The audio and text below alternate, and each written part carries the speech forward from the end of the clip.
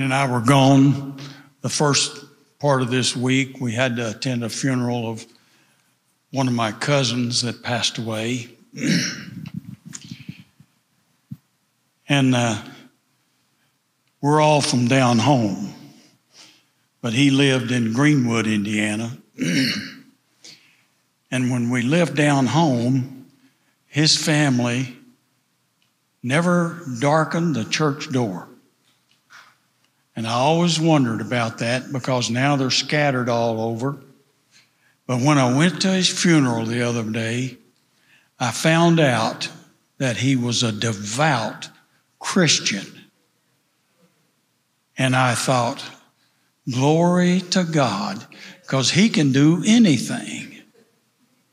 And I've heard, uh, I heard Beverly and, and some others talk about the love of God and that's what happens.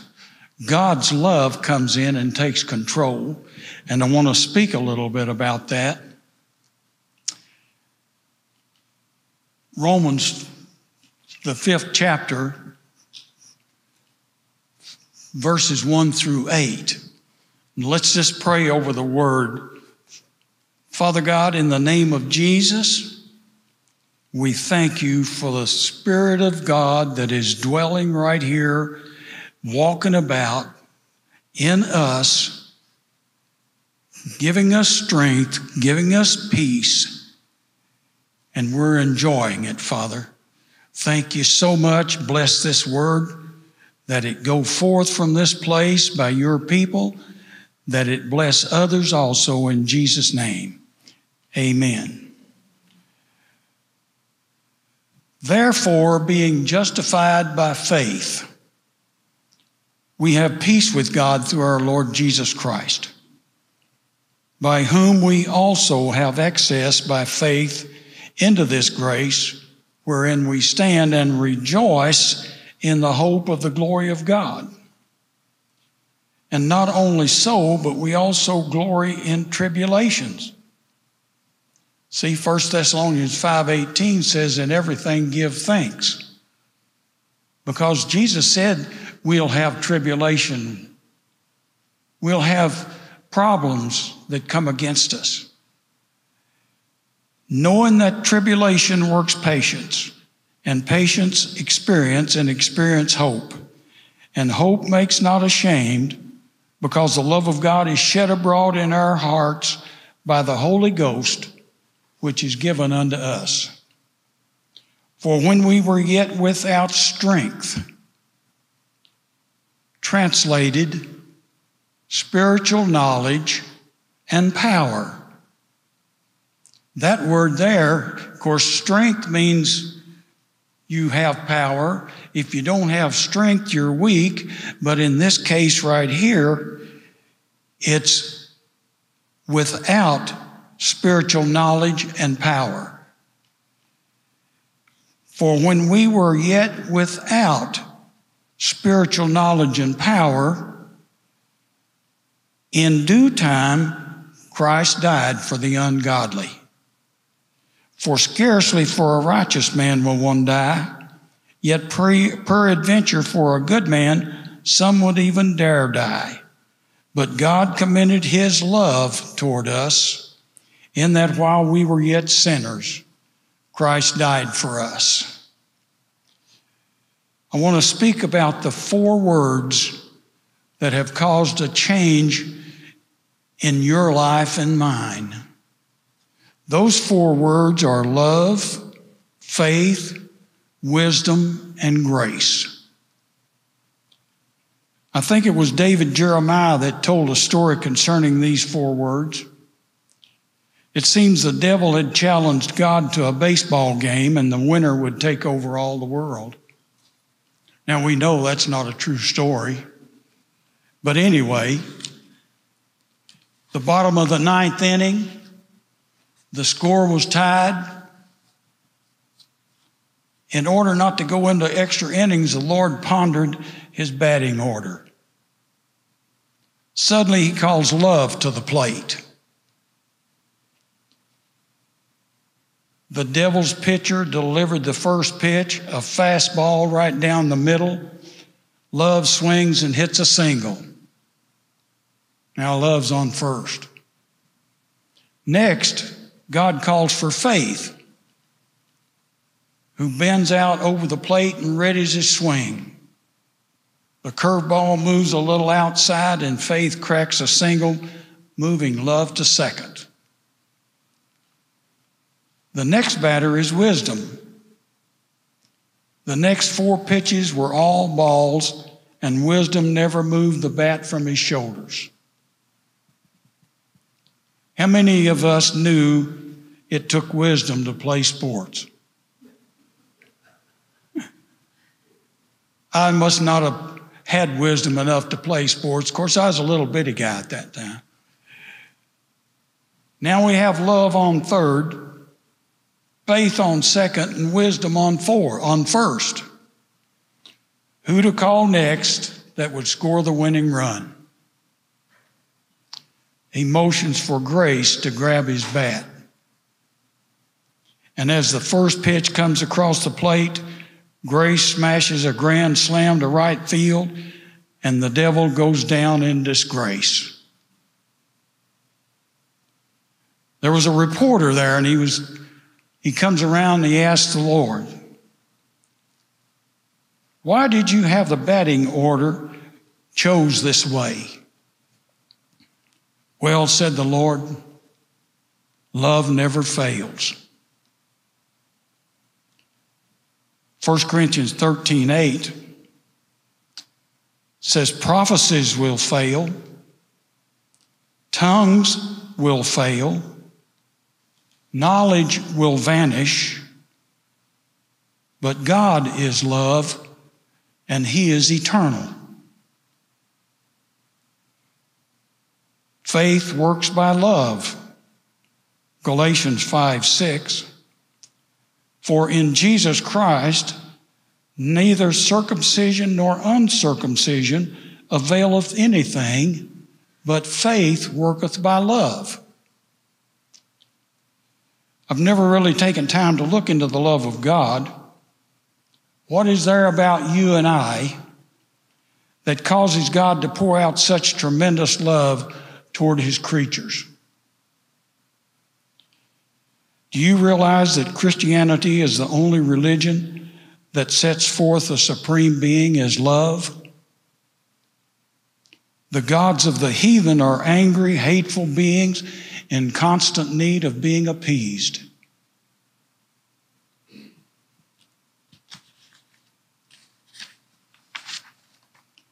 In 1 John 4 8 through 16, we note that God is love, God is light, God is spirit.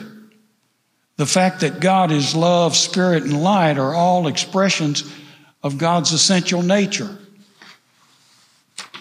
Love is the expression of his personality that corresponds to his nature. That is, it's the nature of God to love. For me to define or describe the love of God is extremely uh, difficult and close to, if not impossible. How can we explain? How many hours in the day would it take us to explain the love of God? We can talk about God being love. We can read it in the Word that God is love. But how do you explain? You might have a testimony about His love. We all should have a testimony about his love. When we read in 1 John 3:16 or John 3:16, it states that the love of God is of such a nature that he is constantly showing his interest in the physical and spiritual welfare of his children. This tends to lead him to make sacrifices beyond human understanding that reveals his great love. In John, 1 John 1, in 1 John 3.16, I want to read that.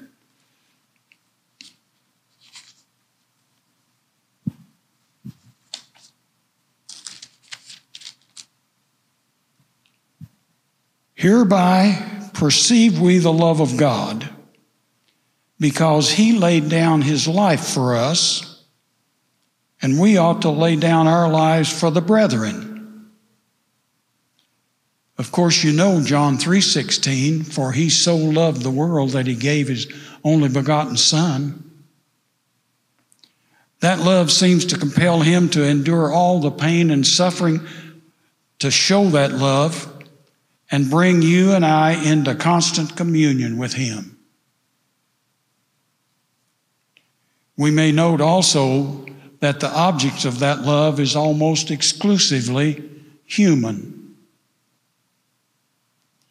Jesus Christ, God's only begotten, only born Son, is the special object of that love. In Matthew 3:17 we read, after the baptism of, of Jesus by John in the Jordan, and lo, a voice from heaven saying, This is my beloved Son, in whom I am well pleased. In Matthew 17, 5 and Luke 20, verse 13, this Son shares the love of the Father in a unique sense, just as He is the Son in a unique sense. While Peter yet spoke, behold, a bright cloud overshadowed them, and behold, a voice out of the cloud which said, This is my beloved Son, whom I am well pleased. Hear him. Hear him.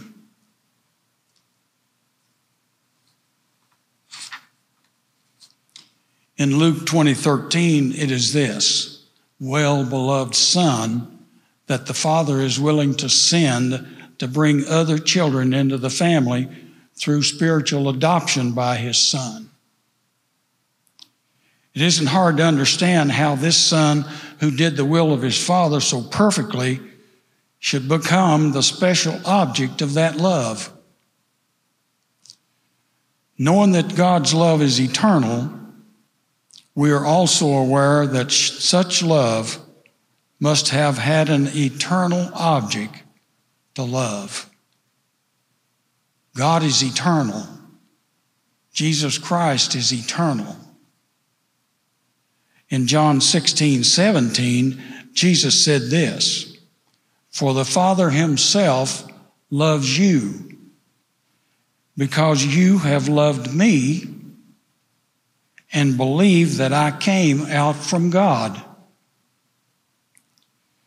John 14, 21 through 23, Jesus declared, He that loves me shall be loved of my Father. If a man loves me, my Father will love him Jesus did testify in, in uh, John 17 23, as he was testifying to the Father, You have loved them as you have loved me. And I want to turn over there to John 17.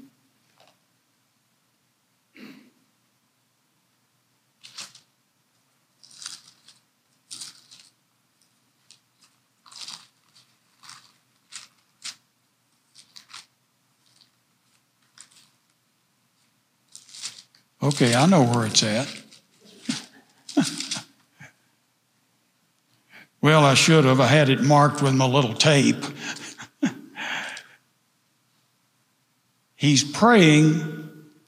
He says, Father, the hour has come. Glorify thy Son, that thy Son also may glorify thee. And he's praying for those that God had given him while he was here on this earth. And he says, And now I am no more in the world, but these are in the world, and I come to thee, Holy Father. Keep through thine own name those whom thou hast given me, that they may be one as we are. While I was with them in the world, I kept them in thy name. Those that thou gavest me I have kept, and none of them is lost, but the son of perdition, that the scripture might be fulfilled. And he, in verse 17, he's praying, Sanctify them through thy truth. Thy word is truth. They're not of the world, even as I am not of the world. And he goes on to say down lower, Neither pray I for these alone. Here's where you come in. But for them also which shall believe on me through their word. Jesus prayed for you before he ever left the earth. That's the love of God. That they may all be one as thou, Father, are in me and I in thee, that they also may be one in us, that the world may believe that thou hast sent me. He goes in verse 23 I in them and thou in me, that they may be made perfect in one, and that the world may know that thou hast sent me and hast loved them as thou hast loved me.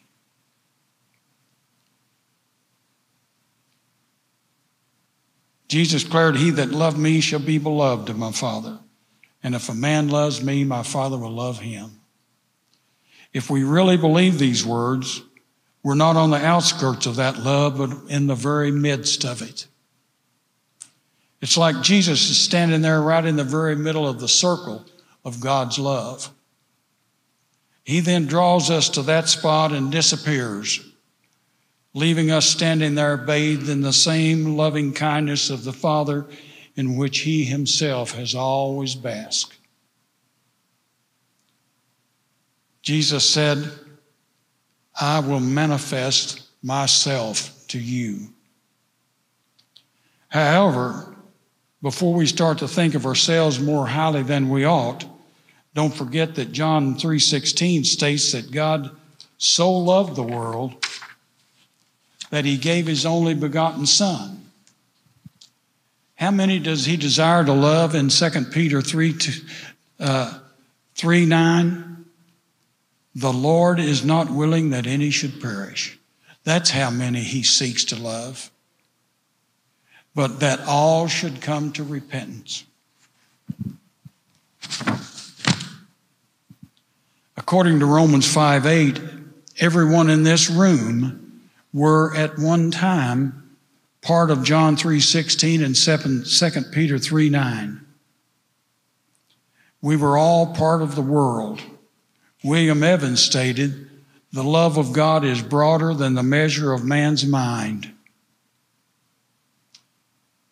In 1 Timothy 2 1, 3, and 4, we read, I exhort, therefore, that first of all, supplications, prayers, intercessions, and giving of thanks be made for all men. We should be praying that all men come to the glory of God. Hell wasn't made for people, hell was made for the devil and his angels. For this is good and acceptable in the sight of God our Savior, who will have all men to be saved. God says all men could be saved and come into the knowledge of the truth.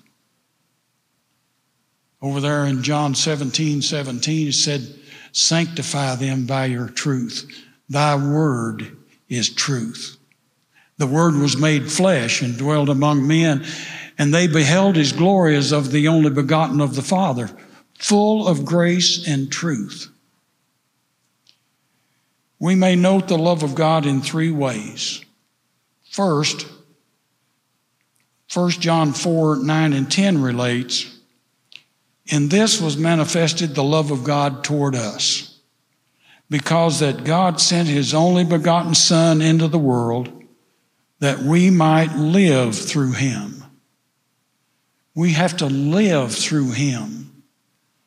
Because over there in John, the 17th chapter, he was praying for all of those that will come into the kingdom from the word that the, the apostles preached. because that God sent his only begotten Son into the world that we might live through him.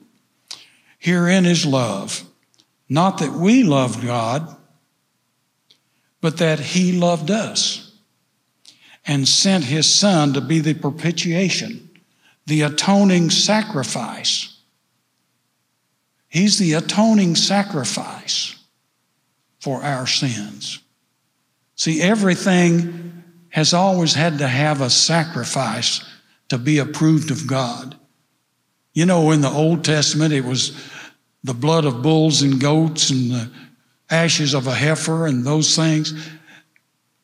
And then when Christ came, that's the reason he came to give his life and shed his blood because he loved us and sent his son. The cross of Calvary is the highest expression of the love of God for sinful man.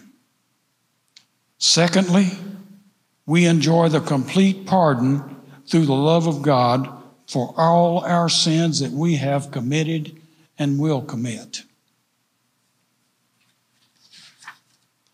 In Isaiah 38 17, the prophet records, Behold, for peace I had great bitterness, but you have in love to my soul delivered it from the pit of corruption. For you have cast all my sins behind your back to remember them no more. That's a great promise. I will remember your sins no more. That's my love that I have for those that I created that come to me through the blood of my Son. In Ephesians 2 4 and 5, Paul recorded, But God, who is rich in mercy, for his great love, wherewith he loved us. Even when we were dead in sins, has quickened or made us alive because we were dead in our sin, and he made us alive together with Christ. In the first three verses of this chapter, we note the condition. Let's look at that. Ephesians 2 says, And you hath he quickened who were dead in trespasses and sins, wherein in time past ye walked according to the course of this world, according to the prince of the power of the air, the spirit that now worketh in the children of disobedience among whom also we all had our conversation in times past in the lusts of the flesh, fulfilling the desires of the flesh and of the mind, and were by nature the children of wrath, even as others. But God, who is rich in mercy for his great love, wherewith he hath loved us.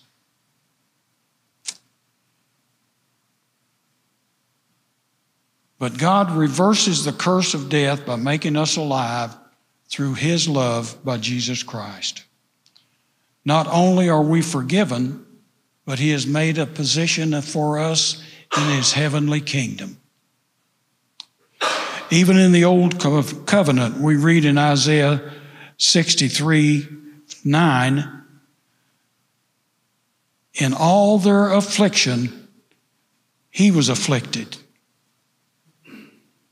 And the angel of his presence saved them in his love and in his pity. He redeemed them and bore them and carried them all the days of old. The third thing of the note is the fact because of his great love, he remembers all his children in all of the varying circumstances of life. All of the circumstances of life. In everything, give thanks unto God.